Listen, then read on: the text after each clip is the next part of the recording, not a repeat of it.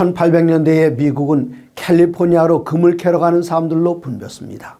골짜기마다 몰려드는 사람들로 인하여 천막촌이 생겼습니다. 천막천을 만드는 스트라우스는 군용 천막 10만 개에 해당하는 천막천을 주문받았습니다. 빚을 내어 돈을 마련하고 3개월 동안 열심히 천을 생산했는데 갑자기 군납의 길이 막혔습니다. 헐값에 내놓아도 그 많은 것을 사는 사람이 없었습니다. 그때 광산 노동자들의 옷이 빨리 해지는 것을 보고는 천막천에 푸른 물을 들여 바지를 만들어 팔기 시작했습니다.